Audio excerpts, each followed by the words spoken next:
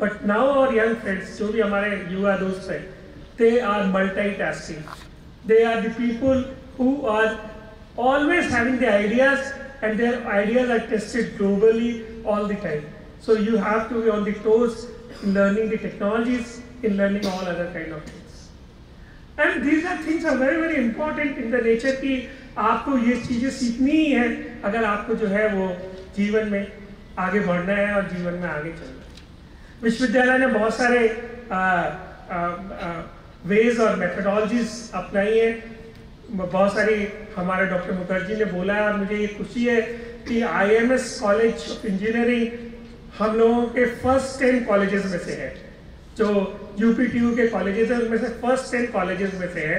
और आपके डायरेक्टर तो फ़र्स्ट फाइव या फ़र्स्ट टू में ही होंगे जिन इनका काफ़ी काम है हमारे, आपके डायरेक्टर सर का। और आपके डायरेक्टर सर के साथ हम लोगों ने बहुत सारी इवेंट्स और आइडियाज़ के पे काम किया है। हम लोगों ने अभी मुक्स स्टूडियो बनाया है, जिससे डायरेक्टर साहब ने ही आपके जो है वो लीड ली है। And we will be bringing MOOCs to all the university from this very college from this IMS engineering college so things are changing and we are also changing अभी हम लोगों ने एक कंपनी टेनेंशियो को यूनिवर्सिटी से हम लोगों ने उनके साथ एमओयू किया है और बहुत सारे लोग जिनको जॉब्स नहीं मिल रही हैं, वो कैंपस प्लेसमेंट्स के बाद बहुत सारी ऐसी कंपनीज़ हैं जो कैंपसेस में नहीं आना चाहती, वो यूनिवर्सिटी में आना चाहती हैं, उनसे भी हम लोग ने जॉब का वो किया है और वो हम लोग के साथ जो है, वो जॉब जो है, वो सिनेरियो में जो जॉब है, वो हम लोग के साथ हो गई। हम लोगों ने इनोवेशन और इंक्यूबेशन के लिए एक, अपने यहाँ पे एक फैसिलिटी क्रिएट की है लखनऊ में और नोएडा में भी क्रिएट करने जा रहे हैं कि आप में से जो लोग भी वहाँ पे करना चाहे टू फिफ्टी रुपीज़ पर सीट्स पे हम जो है इनोवेशन और इंक्यूबेशन के लिए आपको स्पेस दे सकते हैं और आप अपनी आइडियाज़ लेकर आइए और आप इनोवेशन और इंक्यूबेशन के लिए बहुत सारे जो है वो काम करें।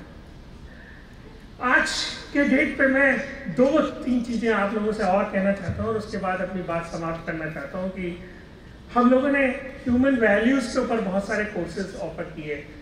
और मेरा आपसे निवेदन है कि ह्यूमन वैल्यूज़ के कोर्सेस लाइफ के लिए बहुत इंपॉर्टेंट है और वैल्यूज़ के बिना एजुकेशन का कोई बहुत महत्व नहीं है इसलिए उन कोर्सेज को आप ज़रूर करें।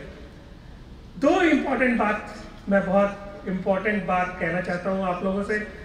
नंबर एक इंपॉर्टेंट बात यह है कि आ, आपने बहुत सारे ग्लोबलाइजेशन की बात कही और मुझे लगता है कि जो प्राइज मनी हम लोग दे रहे हैं स्टूडेंट्स को उसमें थोड़ी बढ़ोतरी करनी चाहिए। मैं चेयरमैन सर को रिक्वेस्ट करूँगा कि जो आ, हमारे स्टूडेंट्स को प्राइजेस दें वो प्राइज मनी थोड़ी बढ़ा दें। ये मेरी रिक्वेस्ट है स्टूडेंट्स की तरफ़ से। ऐसे तो डॉलर में करनी चाहिए लेकिन जो है वो प्राइज मनी बढ़नी चाहिए। लेकिन सेकेंड एक इंपॉर्टेंट बात है मेरे को कि बहुत सारे स्टूडेंट्स जो फ़र्स्ट आते हैं उनको हम अवार्ड्स दें। बहुत अच्छी बात है हमें देना चाहिए उन सभी को अवार्ड्स लेकिन बहुत सारे ऐसे लोग हैं जो समाज के लिए बहुत कुछ काम करते हैं जो प्रोजेक्ट्स बहुत अच्छे बनाते हैं उनको भी अवार्ड देना चाहिए। और आज की डेट में मैं जो हूँ वो आ, वो स्टूडेंट जो क्या नाम मिस्टर पादवानी। वो कहाँ पे है? अरे यस आप प्लीज़ करे मैं आप सब लोगों से रिक्वेस्ट करता हूँ कि इन्होंने जो एनजीओ के लिए काम किया है उसके लिए आप सब लोगों इनका जो एप्रिसिएशन करिए और क्लैपिंग करिए। और आ, मैं इनको यूनिवर्सिटी की तरफ़ से I will get him an award of twenty thousand rupees that is what I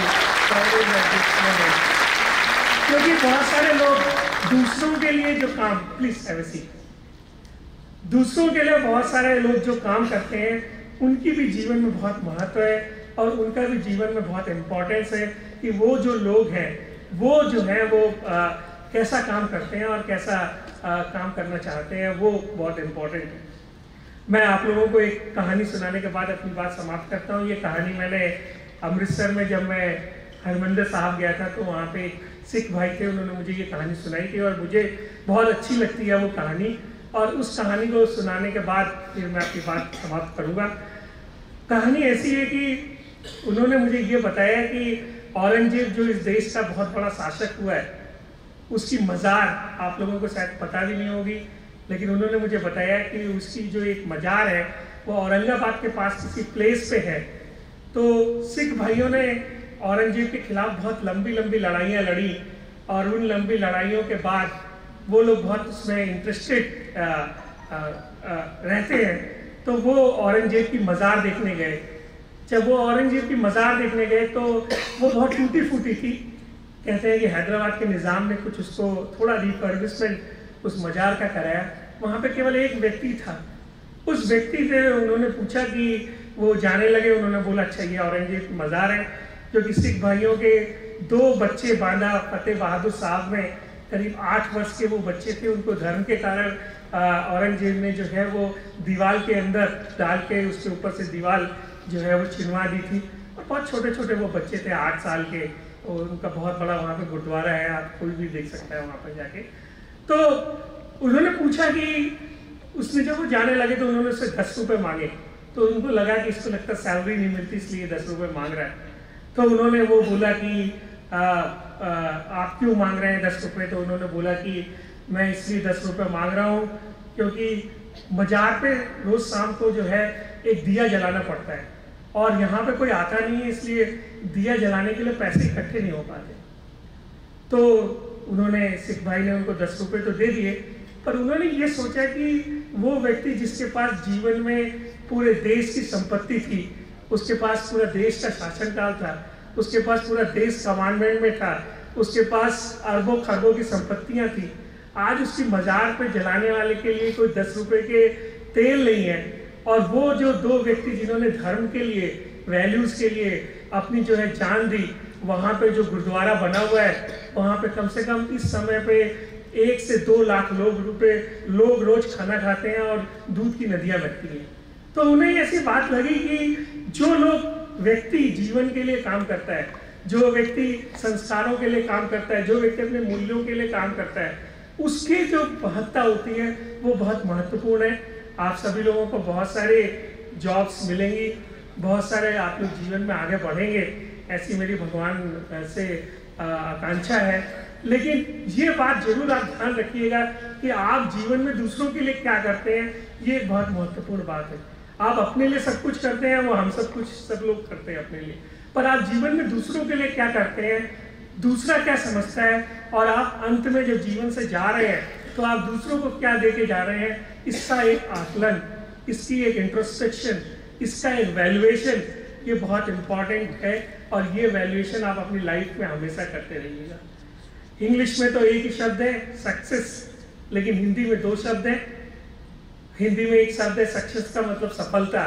तो मैं आप सभी के जीवन के कामनाओं के लिए, जीवन के आगे बढ़ने के लिए सफलता की कामना करता हूँ।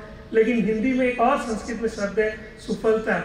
उनका मतलब है वो कहते हैं कि साहब, आप हो सकता है कि फल के साथ हो गए हो। आप सफल हो गए हो, पर फल खराब हो। इसलिए आप जो है सुफल भी हो, आप सुंदर फल भी बने। इसलिए आपके जीवन की सफलता और सफलता की कामना करने के साथ साथ मैं अपनी वाणी को विराम देता हूँ। आप सभी लोग जीवन में बहुत बहुत सफल हो और आप सभी के जीवन बहुत सुंदर हो और ईश्वर ऐसी सभी को संभावनाएँ दे कि इस जीवन में व्यक्ति के पास हिटलर बनने की और गांधी बनने की दोनों ही क्षमताएँ हैं। तो आप जो है ऐसे जीवन की सफलता में आगे बढ़ें। कि लोग आपको जीवन भर याद रखें। बहुत बहुत धन्यवाद। Thank you very much